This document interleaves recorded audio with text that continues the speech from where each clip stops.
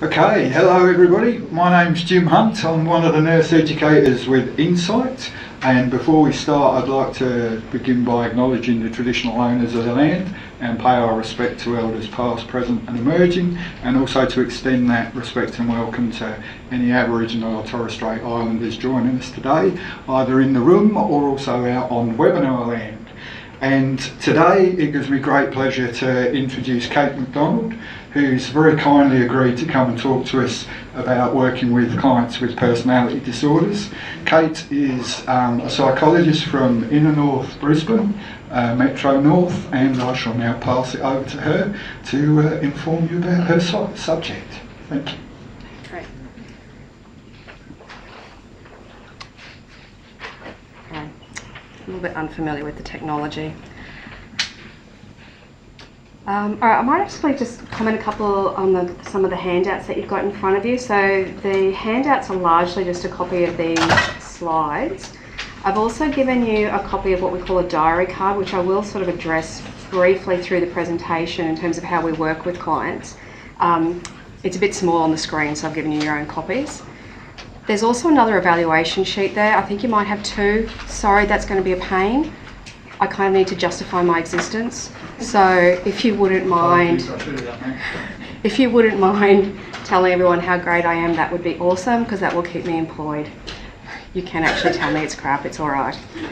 Um, the other thing is that on the handouts, I noticed as I was doing a quick review that I forgot to actually put my name on the front page.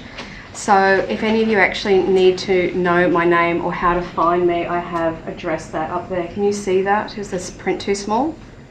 The print's too small? It's Kate MacDonald with an A. Um, and in terms of my email address, it's just like the health one, so it's just kate.macdonald at the rest of it. Okay? You need to know anything more, come find me afterwards, I'll tell you. All right, now the other thing um, it's probably worth mentioning is that when I was asked to do this, you know, it's a fairly big topic and it's a, a little difficult to work out how to, to segment a part of it and then present it out of context and it still makes sense. So what I've actually done is there's way too many handouts here for me to actually talk to in an hour. So what I'm going to do is just briefly allude to a few things just to actually provide a bit of context. And then I'm going to try and target it in a little bit more specifically about uh, what we do with clients with comorbid borderline personality disorder with the suicidal and self-harming behaviours who also have a substance abuse disorder. So we'll talk a little bit more specifically about that, but I just thought I'd address the rest of what we do just to provide a little bit of context. Um, so if I rush through a couple of things, that's why I'm doing that. Okay. I can still ask quest- answer questions. I don't mind getting distracted, but just being conscious of time. That's all. All right. Hmm, that didn't work. That did. All right. So when we're looking at um, talking about the the etiology, if you like, of borderline personality disorder, each school of therapy has its own way of formulating things. So if you talk to a cognitive behavioural therapist or a psychodynamic therapist or someone who practices from dialectical behaviour therapy, you're going to get different uh, formulations.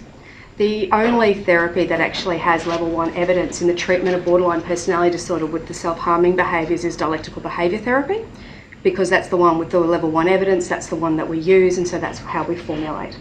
So when I'm talking about the etiology of the disorder, I'm doing it from that perspective. You'll get a different, you might get a different formulation if you talk to a therapist with a different background. Uh, so the the developmental, excuse me, break there. The theory that's associated with the development of borderline personality disorder is called the biosocial developmental theory. Now, the, the woman who created borderline, person, uh, borderline personality disorder, dialectical behaviour therapy, is a woman by the name of Marsha Linehan. So she's a psychiatrist uh, who works out of uh, Seattle in the States and is affiliated with the University of Washington there. So this is her theory. So her theory is that so the biopsychosocial. So the bio part of it is look effectively it's nature or it's temperament.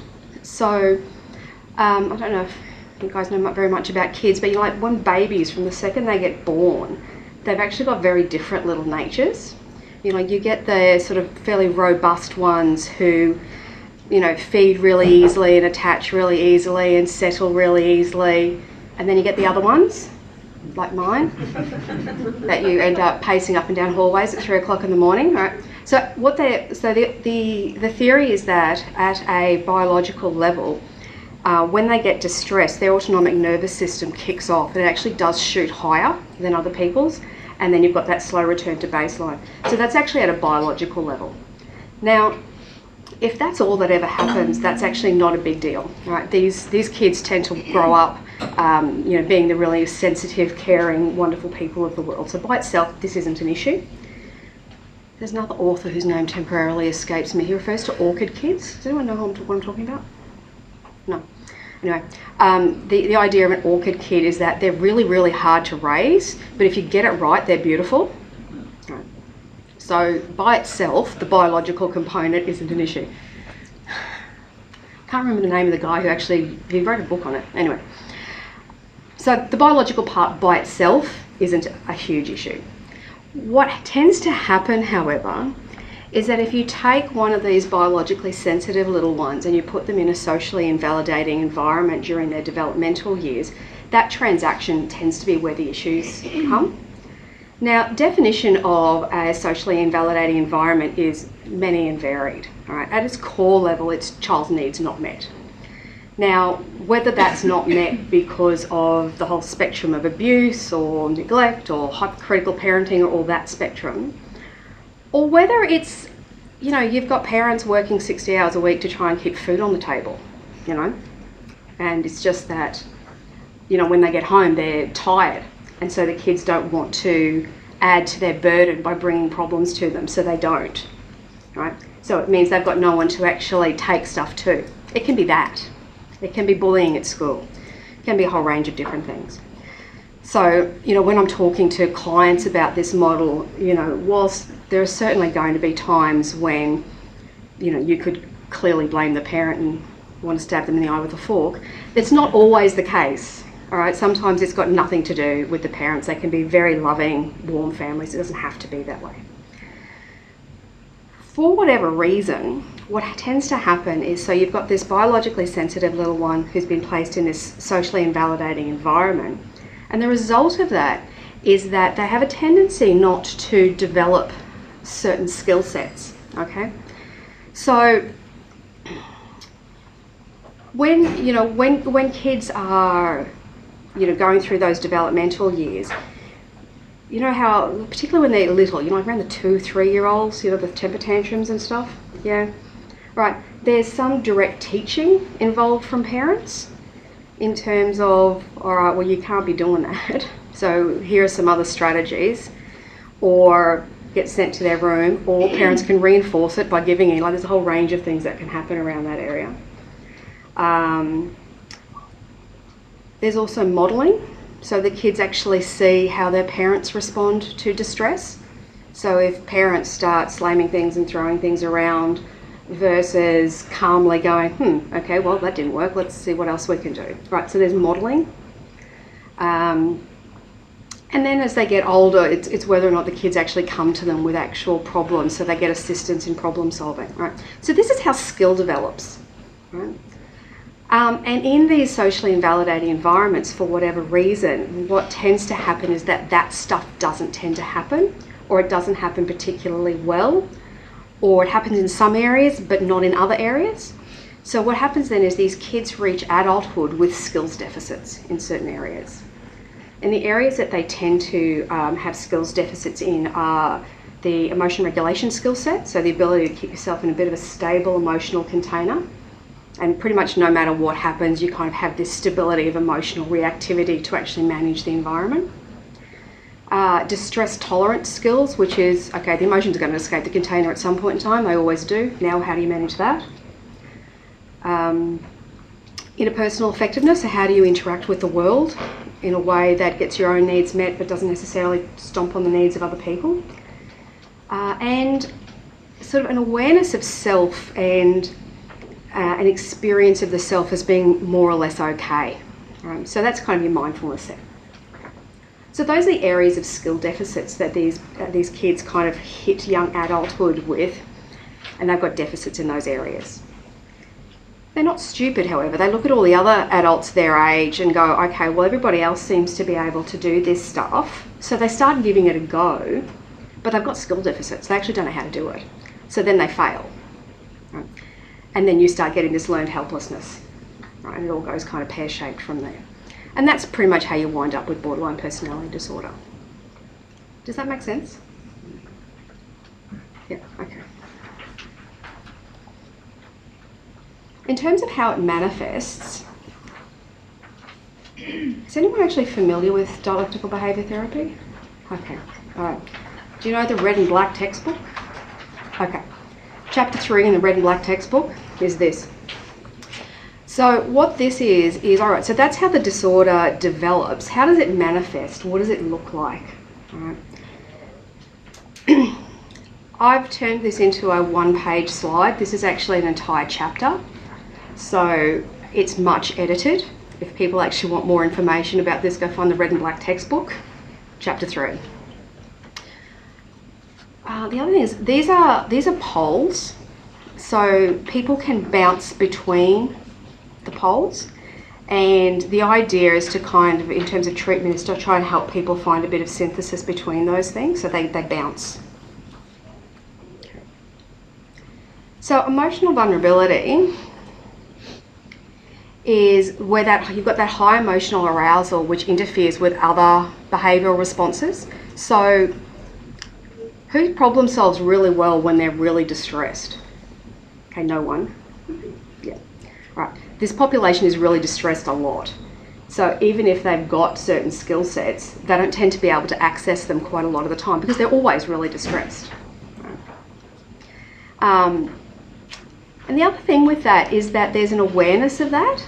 So there's an awareness that sometimes they've got skills and sometimes they don't. So there's this sense of unpredictability about their own um,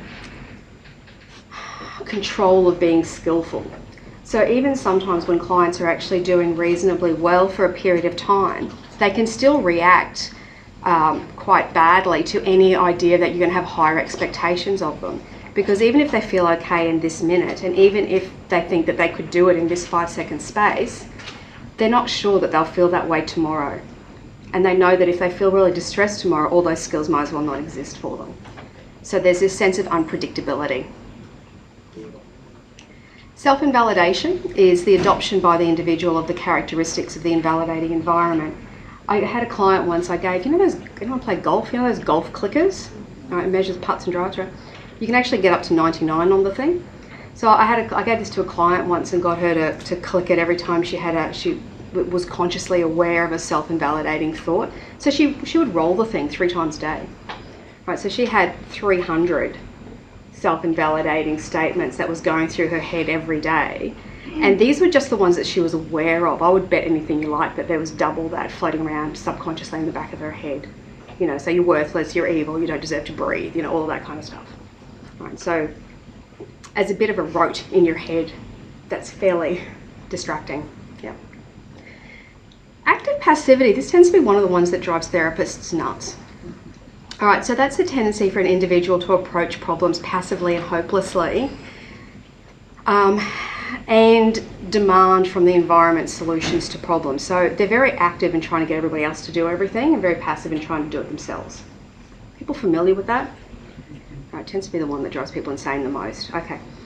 So what that is about is if you, you know if you're remembering the the whole concept of a skill development and that's where you're approaching it from this client group often has a history of failure. So they have this belief system that if they try and give it a go themselves, it actually won't work. They'll fail and probably make the situation worse. And they've usually got a decent level of evidence for that, right? That's often been their experience. It's also, you know, borderline personality disorder, it's a very polarized disorder, right? So the cognitions tend to be very black and white, good or bad?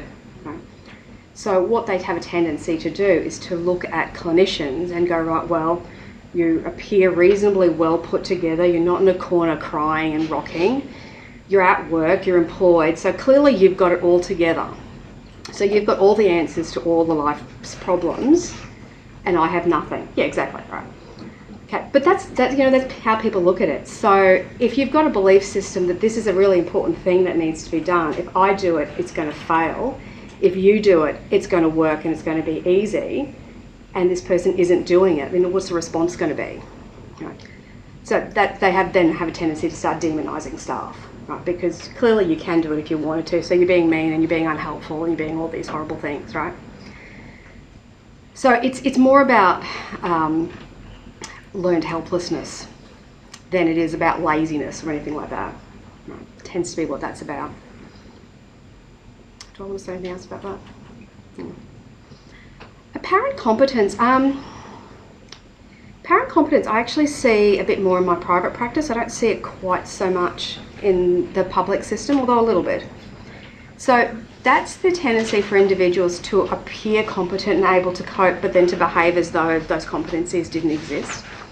So you'll find clients who either they've grown up in a family where expressions of emotion were not viewed well so they've tended to learn to mask and hide emotions. So they can be sitting in front of you really, really distressed. You see absolutely none of that on their faces and you've got no indication of it. So you think the session's gone really well, they walk out the door and 10 minutes later you've got the hospital on the phone going, oh, your client's up here in PEC. Not that kind of thing. Um, the other thing is um, the tendency for people to intellectualise. So there is a there is a subsection of the population that's very good at telling you what skill would be a good one to use and telling you what the acronym is and even being able to give you a good example of what that would look like. And then the second they're distressed, they got nothing. Right? There's absolutely no evidence that they used that skill or even thought of that skill. Right? This is apparent competence. They've got it at an intellectual, superficial level, but the second they're distressed, they have absolutely zero ability to actually use it. Right? So they look like they've got it, they don't. That can be quite tricky to work with. Unrelenting crisis is, is one of the other ones that tends to be difficult for therapists. And like in, in years before DBT, um, I remember um, people talking about the, you know, the reactive approach that caused a lot of frustration in working with this population. That a client would come in, they'd be in crisis about something or other, you'd spend the entire session dealing with the crisis. The client would be relatively settled when they left, and then a week later they'd come back in with a different crisis. And you actually never had any opportunity to provide any therapy that would actually stop the crises from happening. Right, so they just tend to bounce from crisis to crisis to crisis.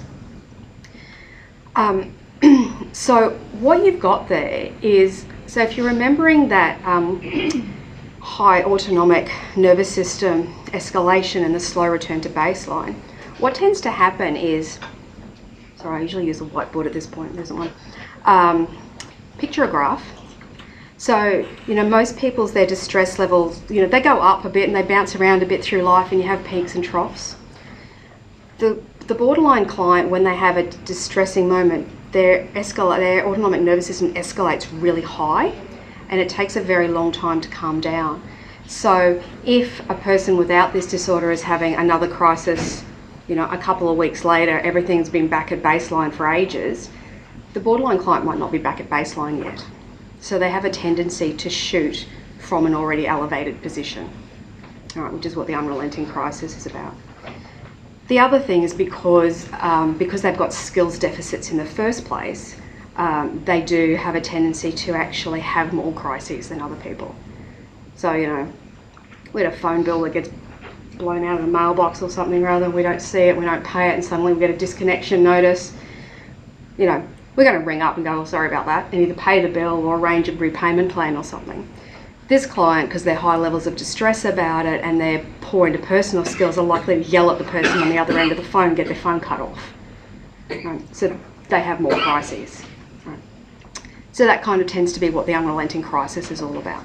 People picturing clients when I'm talking? Yeah, all right. The other one, um, the last one, the inhibited grieving. This is actually getting a little bit more of a hit in the research at the moment, actually. So this is avoidance or inhibition of the experience of grieving. So it's a little bit sad phobic and can generalize a little bit as well. So what happens there is that clients are so terrified of the emotion of sad. Right? Sad tends to be human beings generally speaking the least favorite emotion, right? Because sad is a it's a very passive emotion. It's just a bit of a blah emotion. There's usually not very much you can do about sad. Sad, sad tends to be an emotion that's experienced when there isn't much you can do about a situation whether or not someone has died or whether a relationship has broken up or whether a friend has been mean to you or whatever it is, it tends to be something that you can't really do very much about. So it's not perceived of as a particularly comfortable emotion. Um, for this client group, of course, sad becomes very acute, right? It becomes very distressing, it becomes intolerable. So a little tiny bit of sad creeps in and they have a tendency to block it very, very quickly. Blocking looks like a variety of different things. The, the favourite masking emotion of sad is anger. If you've got a client who's very angry all the time, particularly if the anger doesn't always make a lot of sense, go looking for sad. Um, that's often what's behind it.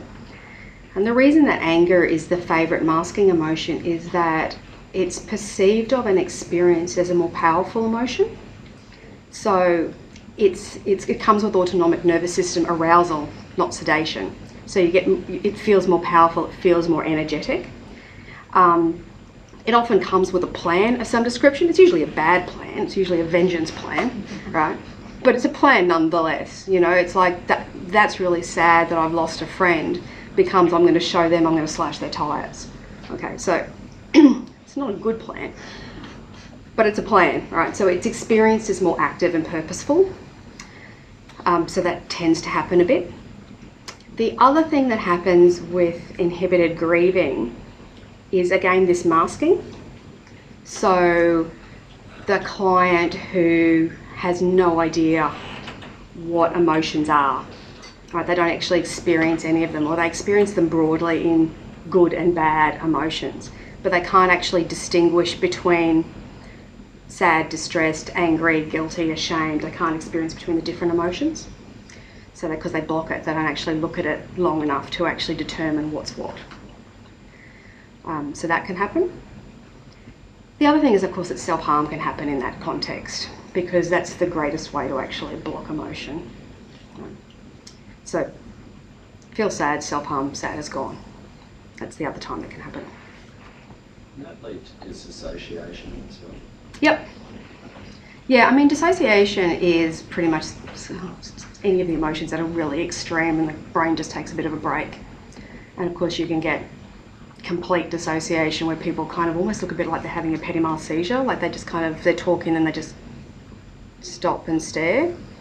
Um, and then you get people who are still operating and they talk to you about it the next day and they have no recollection of having seen you. Their brains just weren't there that kind of thing.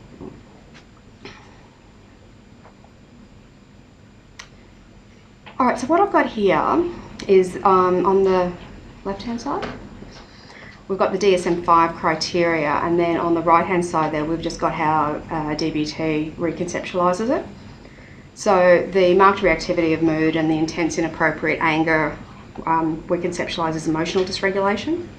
The recurrent suicidal behaviour, gestures, threats, and the other impulsive behaviours, behavioural dysregulation. The chaotic relationships and the frantic efforts is interpersonal dysregulation. Identity disturbance, uh, unstable self image or sense of self self dysregulation, as is the chronic feelings of emptiness. And the uh, transient stress related paranoid ideation or severe dissociative symptoms such your cognitive dysregulation. Why is that important? because that's how we design skills around it. So we take those systems of dysregulation and there are modules of skill remediation basically. If you're looking at it as, a, as the disorder as a skill, a disorder of skill deficits, then the treatment is skill remediation. That's basically what we do with it, which I'll talk about a little bit more. All right, so that's the disorder. So I'm going to move on very briefly to the, the therapy itself. Does anyone actually have any questions before I move on about anything I've said thus far? So I'm saying making sense. Awesome. Okay, so as I said before, um, Marsha Linehan is the lady who developed this disorder. Involved from three main components, being CBT, Buddhism, and dialectics. I'll talk about what dialectics are in a sec.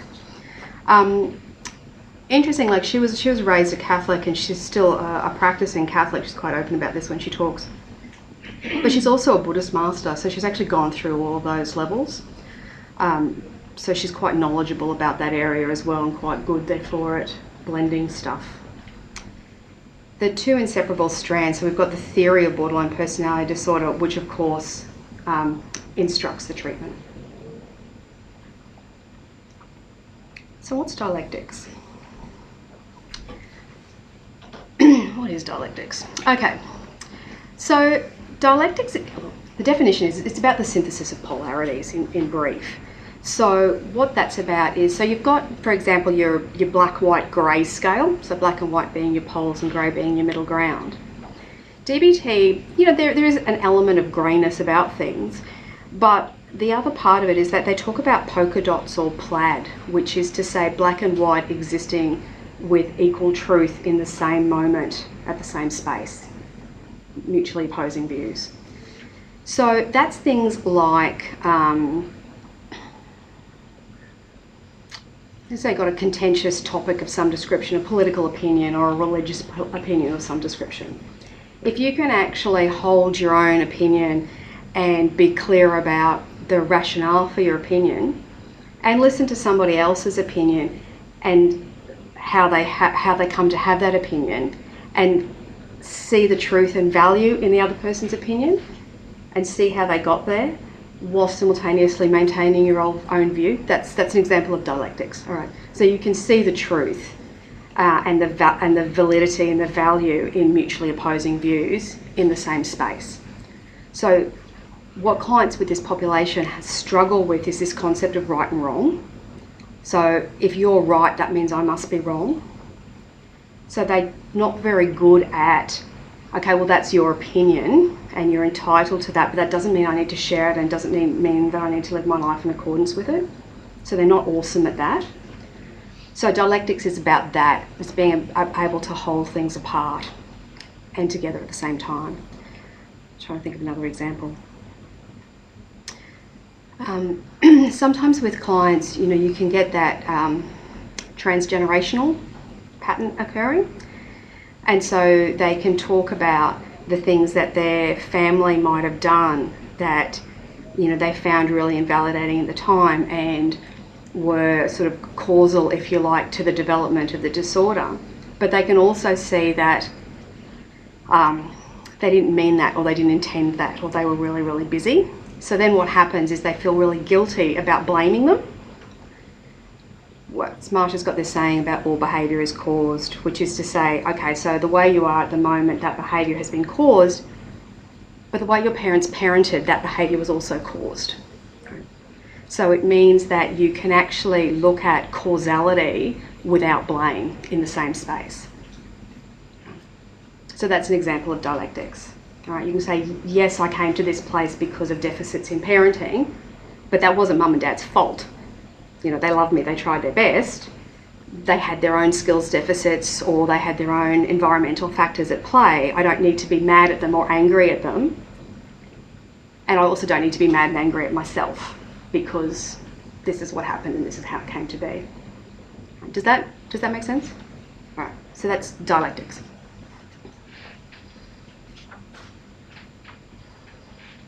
I'm pretty sure I just said that.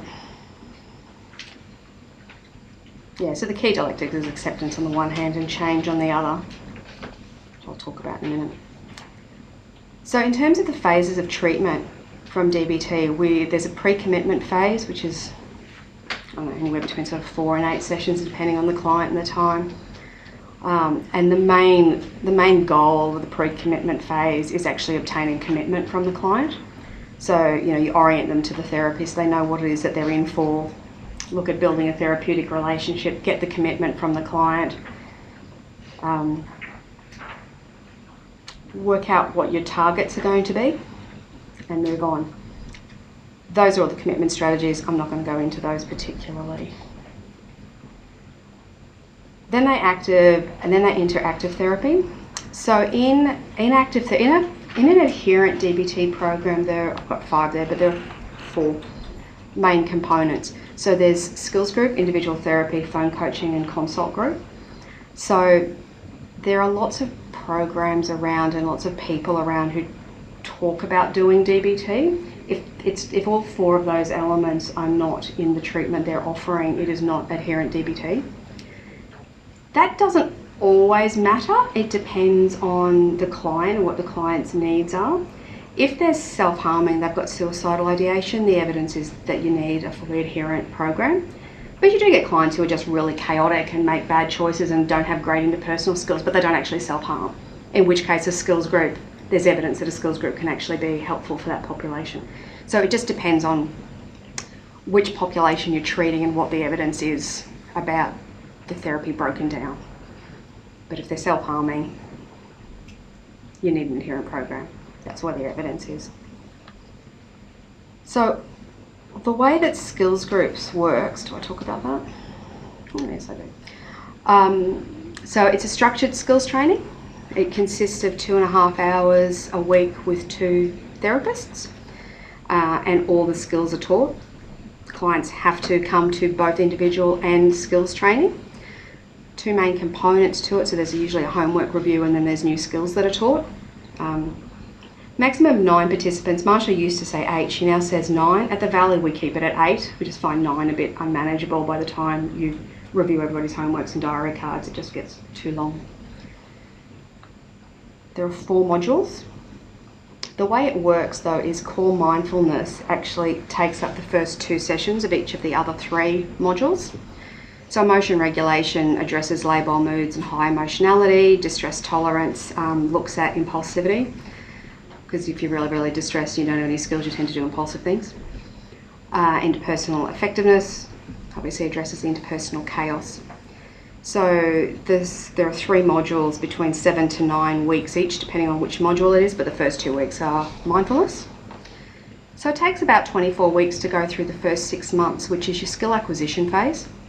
So if you're conceptualizing, you know, you've got a puzzle box, and every time you come into session, someone gives you a piece of the puzzle. So at the end of six months, you've got all the bits of the puzzle, but they're just kind of rattling around, there's no shape to them. So the second six months is about putting all the puzzle pieces together to create an adherent picture, you know. So what that's about is that, you know, there's a difference between me being able to say, like, there's an interpersonal skill called Dear Man, you know, write, write me up a Dear Man, and a client being able to do that, and a client on their own being able to go, okay, there's an interpersonal difficult situation here. I'm distressed. I know that I'm not very effective when I'm distressed.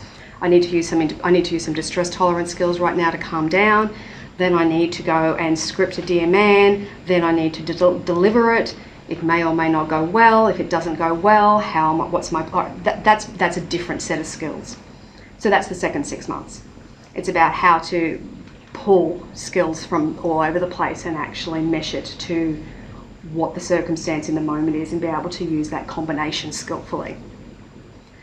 The other thing that the second six months is about when you're talking about generalisation is that sometimes clients can use, actually, it's probably not just clients, I think all of us are a bit like this, um, are very good at using a certain set of skills in one context, not necessarily in a different context.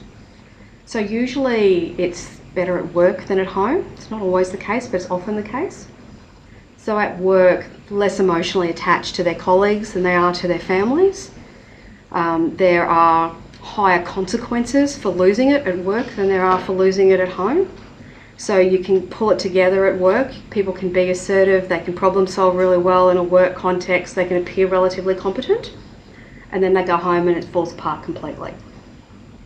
So the second six months is also about okay, so you've got these skills that you can use here. How do you generalize that to here? So it's about being able to use all skills in all relevant contexts. So that's what another thing about what the second six months is about. Does that make sense? Yeah. So that's why we repeat it even though it's exactly the same thing. There is a reason. They also tend to be highly anxious in the first little while, so often they don't actually process it the first time round anyway. All right, so individual therapy. So the individual therapist is responsible for helping the client to inhibit the maladaptive behaviours and replace them with skillful responses. Um, we do this by um, coaching the clients through skill usage. Um, we look at motivational issues, various environmental factors, look at reinforcers, that kind of thing. I'm going to talk about the diary cards in a second. Uh, on the diary cards, we actually track certain specific behaviours that the client has identified that they'd like to work on. The first one is always self harm or suicidal behaviours. So at the Valley, um, we have uh, they've got to have a minimum of two self harm episodes in the previous six months to actually be eligible for the program, which is a relatively high standard. But with that standard, we've got two programs and they're both full, and we've got a 12 month waiting list. So we do the best we can with what we've got. Um, decreasing, so that all of the suicidal behaviours come first. Decreasing therapy of interfering behaviours comes next. So therapy interfering behaviours is anything that actually gets in the way of the client receiving good therapy. If they don't show up, for example, they're not in front of you, you can't treat them. That interferes with therapy. Not doing their homework, not doing their diary cards, presenting intoxicated, um, being non participatory, so sitting there and glaring at you with their arms crossed, or yawning and staring at the ceiling, or giving you, I don't know, I don't know, I don't remember, all of that. Okay, all of that's therapy interfering behaviours. So in DBT, we actually address that directly. It's like, mm, okay, some therapy interfering behaviour going on, let's look at that. We'll do a chain analysis on what led to this therapy interfering behaviour. So it's dealt with very directly. And the third one, which is the one that clients actually want to talk about, is the quality of life interfering behaviours. So that's, you know, the fight they just had with mum or their boyfriend or the fact that their car just got repossessed or they're about to be evicted. Right? So that's what the clients want to talk about. That's actually number three. And these are hierarchical.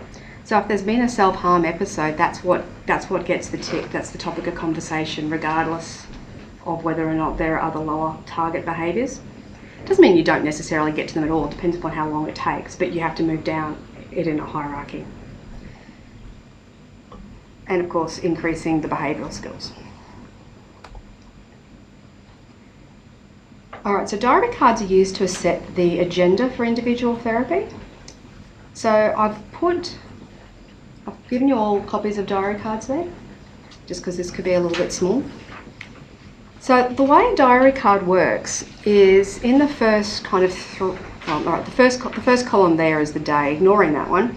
The next three are about how strong people's particular urges are. Then you've got some emotional experiencing. Then the last sort of five columns are about what they've actually done.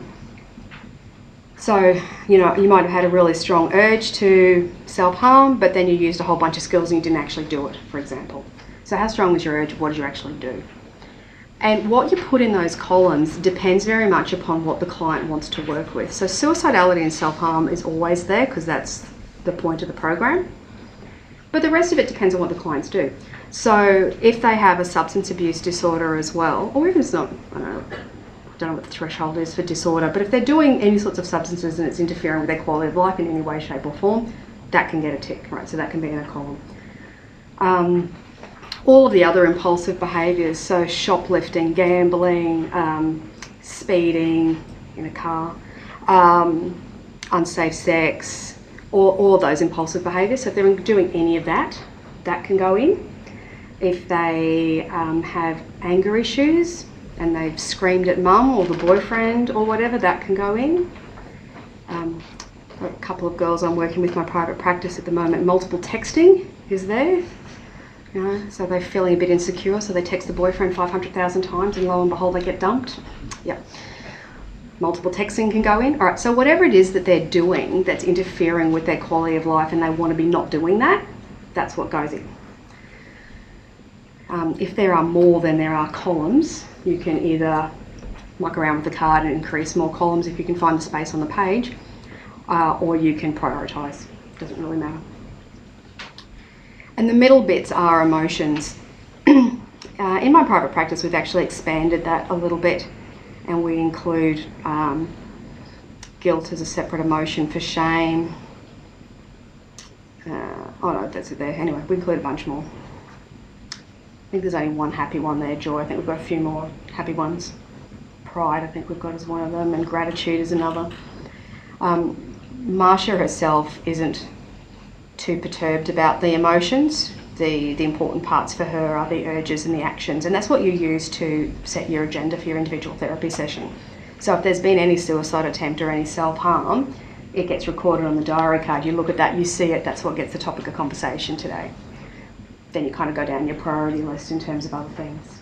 If they've missed three sessions and they've just rocked up for the fourth, then therapy interfering behaviour is going to get a hit prior to substance use or fight with mum. So this part of the diary card, this is the part that only gets, this gets shared with the individual therapist only. So this is private between your client and the therapist. The back of it is a list of all of the compulsory skills. Now, I'll talk about the non-compulsory ones in a sec. So this part gets shared with the um, with the skills group. So this is just about what skills did you use? What skills did you use? What did you work on this week? What did you find helpful? What are you going to work on next week? What got in the way of you using that particular skill? So this part gets shared. Uh, and the little code at the side there is about the degree of how effective they were for you.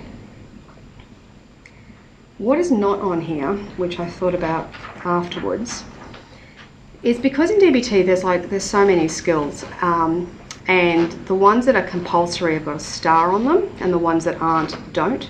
So in our skills group, we do all of the compulsory ones. And then if you've got clients that have got particular issues, you can pull from the um, non-compulsory ones. Or if you've got a group that just by fluke everyone in there happens to have a substance abuse disorder, you can pull up those skills as well. But the substance abuse disorders are actually not compulsory skills, which is why they're not on this card. Um, in my private practice, we have a third page which actually includes the substance abuse problems, and I'm toying with doing that in the, in the public one as well. I'm thinking about that. Um, or at the bottom there, we've got other skills. You can add them there if you like. All right, so this is monitoring their skill usage. In individual therapy, um, you know, there's a very structured um, how it goes. So you start off with mindfulness practice that is optional. You look at the diary card, that has to be the first thing you do because that's how you set the agenda. You set the agenda in terms of your hierarchy of targets. Chain analysis is a particular skill that um, technique that we use to actually look at target behaviours. So that's about how did this happen? Right, we ended up with this particular target behaviour occurring. How did that happen? Um, clients tend to be very bad at cause and effect and links. You know, I get lots of, I don't know, I was fine one minute, the next minute I was self harming. You know, I get a little bit of that. Um, or I got really distressed, I've got no idea where that came from. And so until you start talking about it, that, well, you know, you just, you watched a television program about sexual abuse half an hour earlier, do you think that actually had anything to do with it? Oh, maybe. Right, they're actually bad at that. Right, they're actually not great at cause and effect.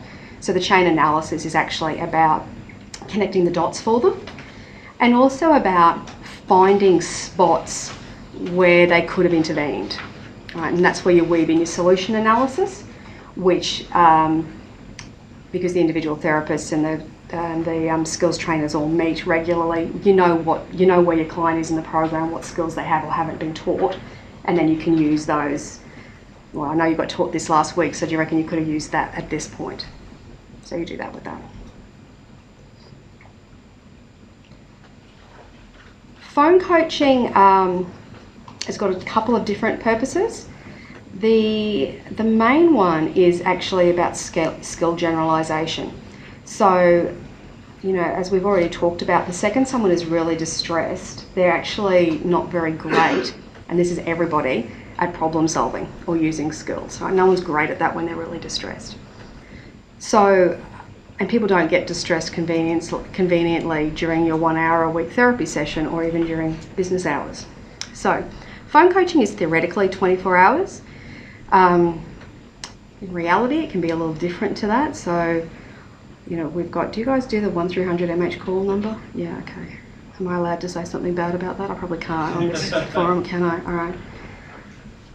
Okay, because what that means is that calls get bounced around the system, anyone can answer the phone. Now, at the Royal, I've got reasonable access to our um, extended hours, our acute care team, and our PEC staff, so I can do training with them on how to do phone coaching. I can't do that with every hospital that they're likely to get bounced to. So it means they get a variable response. Um, we're working on that. All right.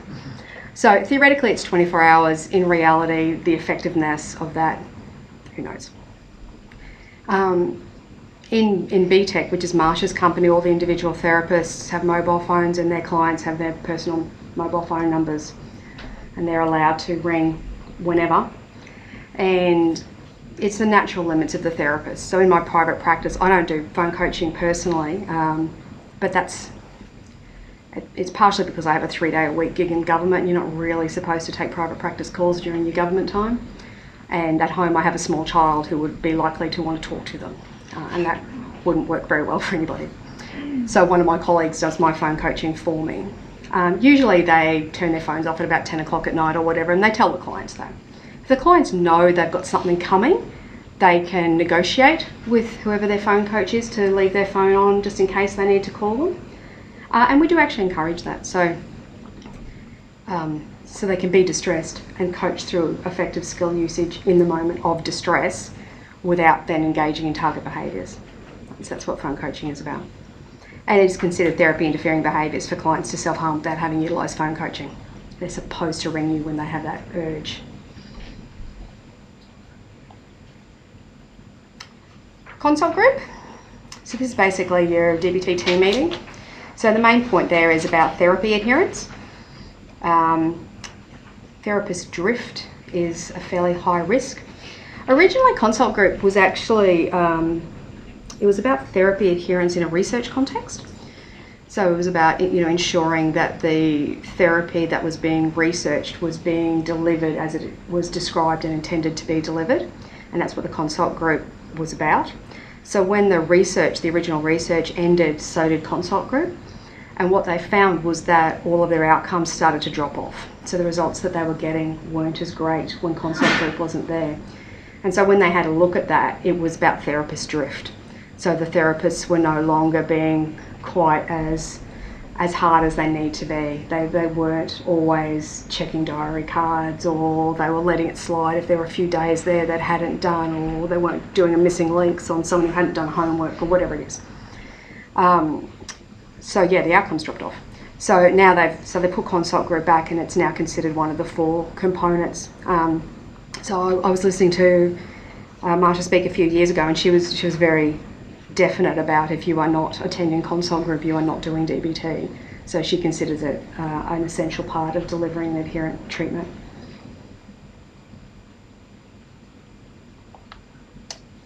So the treatment itself has got, as I said, four modules, being interpersonal effectiveness, emotion regulation, distress tolerance, and mindfulness. Interpersonal effectiveness and emotion regulation are your change modules. Distress tolerance and mindfulness are more your acceptance modules.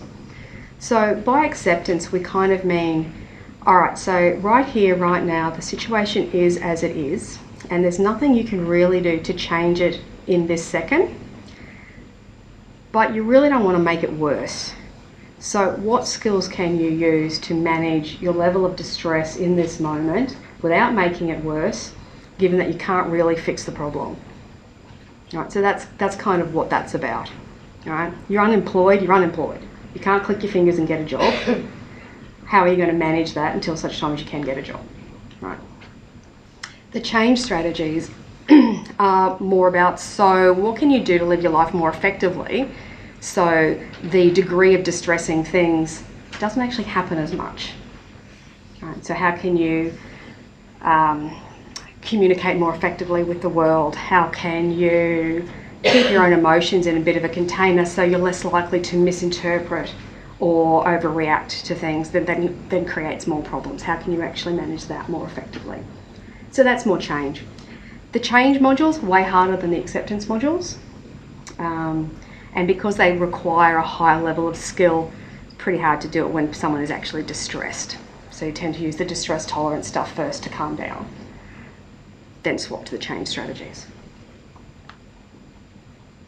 So the change modules are, as I said, emotion regulation and interpersonal effectiveness. Now I'm just going to rush through these and just give you some names. Really? Okay. Um, as I was saying earlier, clients can actually not be awesome at distinguishing different emotions. So there's a whole skill on here's the name of emotion, here's what it feels like, here's what it looks like, here are the kind of cognitions that go with it, here are the kind of body changes that people might experience. Um, here are the kind of urges, action urges that people are likely to experience, and like details all of that stuff out for like about 10 different emotions. Um, then there's a set on changing the emotional responses. So you actually have to know what the emotion is first, hence the previous skill. Checking the facts is about um, the what's the emotion that you want to change. So it's not actually the facts of the situation, kind of, but you start with what emotion do you want to change. And then it's like, okay, well, what actually happened? Who actually said what? Don't give me the interpretation at this point. I want the actual words that were used. Now give me your interpretation. Are you assuming a threat? Is there another way of interpreting that? Right, skill. And then you work out whether or not the, the emotion itself is either, uh, you like it fits the facts of the situation or it doesn't. If it does, then you probably need to do some problem solving. If it doesn't, then you probably need to do some emotion, opposite emotion action. So there are other skills that branch off from that. Vulnerability factors, look at those. A whole bunch of other skills. Interpersonal effectiveness. so the first one there, which is about um, clarifying priorities, is in any situation, you know, you've got three sorts of different things that you're after. So what's more important? Achieving the goal, so the objective, maintaining a relationship with the other person, or your self-respect. Now, it's not, it's rarely that any one of those three is completely irrelevant, but the relative importance tends to change with them. So, firstly, work that out because you're not going to actually get anything that you want if you're not clear on what that is. If you if the objective is the most important thing, the skill is the dear man, give goes with relationship, fast goes with self-respect, and there's also an intensity issue. So again, you know, with borderline personality disorder being a fairly polarized disorder, you know, you tend to have this um, don't ask, they should know what I want, they should just do it without me even saying because it's obvious. Or have a complete temper tantrum about it, insist, demand, stamp your foot, and not a lot in between. So this skill is about intensity of asking. So it's about how do you how do you pitch it at the right level of intensity, and how do you step it up or step it down, and how do you work out how to do that? That's what that one's about. It's one of my favourite skills, actually. I like that one. Building relationships, ending destructive ones, walking the middle path, acceptance modules, mindfulness, being conscious of time. Not going to do very much on this. Does anyone particularly want me to talk a lot about mindfulness? No? Cool. I'll just skip all of that. And we'll go back to this though. All right, so with your crisis survival, with so this is the distress tolerance module now. You've got the first set, which is your crisis survival skill. So this is the stuff when you're really distressed, and, and how do you actually not make the situation worse. Um, won't necessarily go into that either a lot just because of time. The second set of distress tolerance skills are those. These ones are the ones that I thought you might be a bit more interested in is when the crisis is an addiction. Right, so these, these are the actual skills that we use to work with addictions. So remembering that these are recorded on your diary card as target behaviours if the client wants to work on them. Um, obviously clients can lie, but I, they don't really tend to particularly, I have to say. I mean, sometimes you find out about things after the event, but by and large, you know, they're in therapy for a reason, they could just not be here. So, record it, and these are the skills that we use. So, this concept of dialectical abstinence is an interesting one. All right, this is actually an interesting one. So, all right, so my, my understanding and you guys probably know more about this than I do, is there's two sort of broad ways of treating substances. So you've got your abstinence model and then you've got your harm reduction model. All right.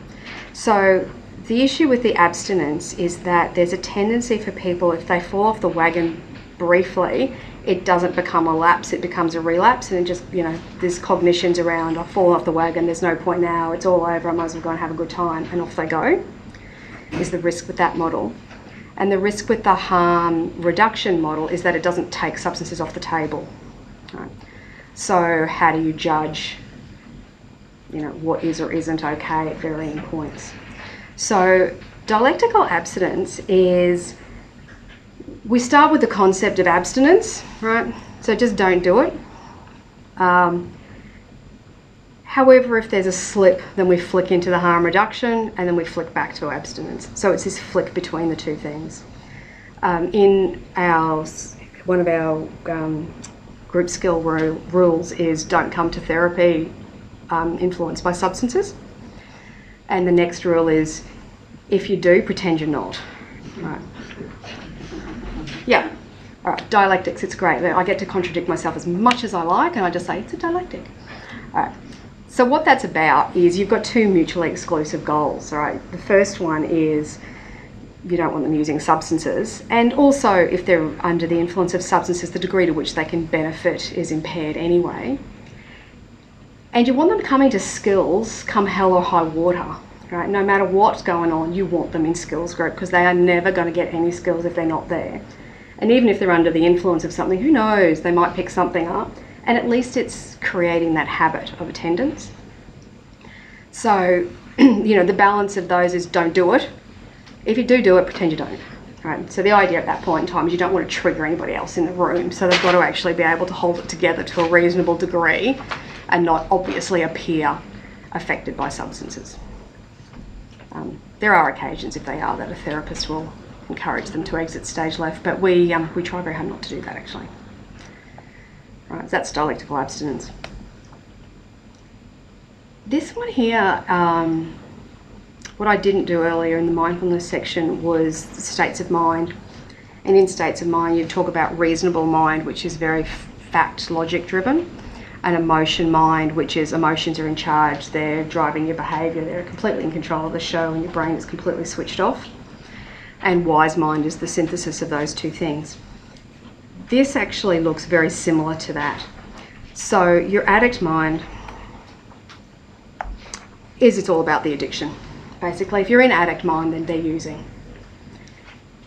Clean mind, however, is not awesome either because it tends to be naive and risk taking. So, these are the people who I've stopped using drugs. This is not a problem for me. I'm just, I'm just never going to do it again course I can go to that party with all my friends who all use drugs. I'll just say no. Okay? People said this to you? Yeah, all right. So that's clean mind. So it's naive, it's risk taking, it's oblivious to the danger. Um, and so no problem solving happens around those areas because they're not looking at them. Clear mind is acknowledging that you've got a problem with substances, acknowledging that there's an addiction, and that you're going to be at high risk in certain situations and what skills can you use, what parameters can you put in place that minimise the risks in those particular circumstances. Sometimes that's changing a complete social group, which can be hard for people because sometimes that's all their social group. So they go from that to isolation, which is a bit tricky. Um, sometimes it's about only staying for an hour or whatever it is. Right. So that's the other one that we talk about.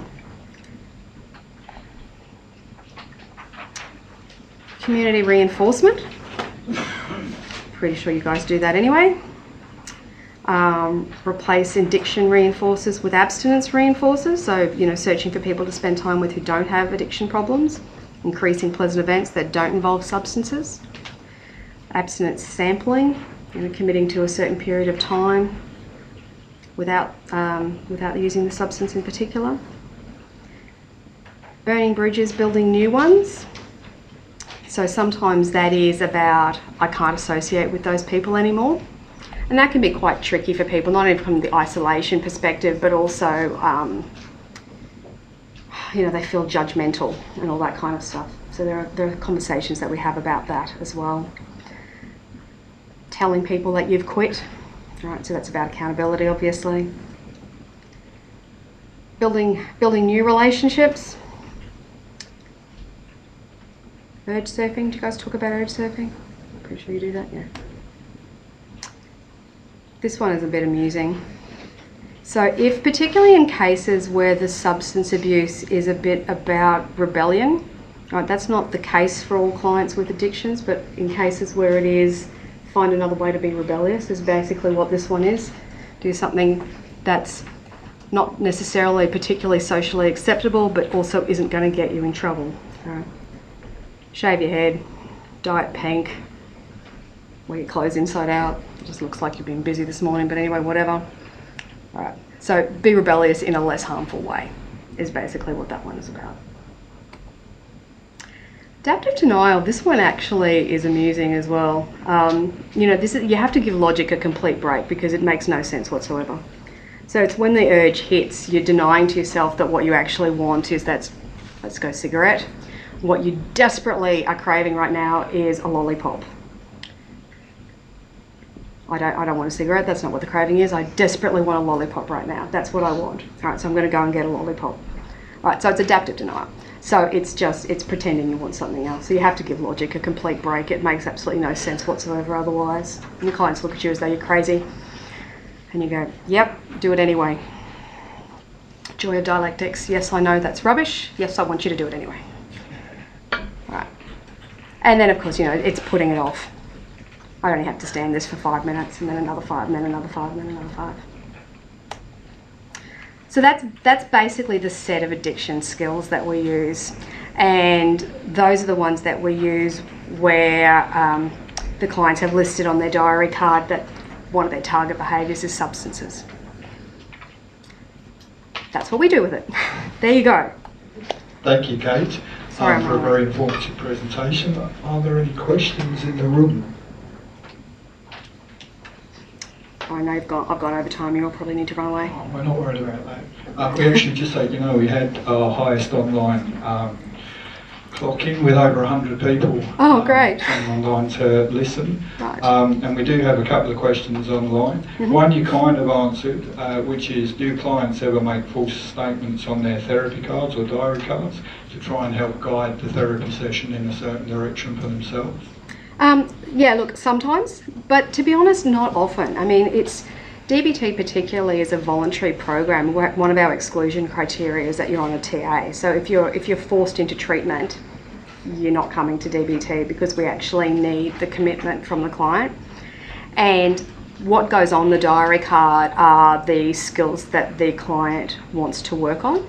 So sometimes they might not want to work on, for example, an addiction, and you think that it's really important. So you, you, you work with that, but you don't work with it in the same way. So if, for example, there's been an episode of self-harm and you're going to do a chain on that, and lo and behold, oh look, there's substances appeared somewhere in that chain. Hmm, that's interesting. By the time you've done that five times and you've pointed the same thing out, sometimes you can get commitment to actually put substances on the diary card. But it's it's it's with it's something that the client wants to work on. And the second question that we've got online, and while I ask this, can everyone just make sure that they do fill in Kate's registration and evaluation forms Please, um, yeah. before they run out of the room? Because I know we are getting pushed for time. Um, but somebody's asked that they're very interested in uh, participating in some further DBT training and becoming involved to better support their clients. How would somebody go about doing that? Depends upon where you work. Um, if you work in mental health at the Royal, go and tell your team manager, and I would love to talk to you about that. You can come and join my team.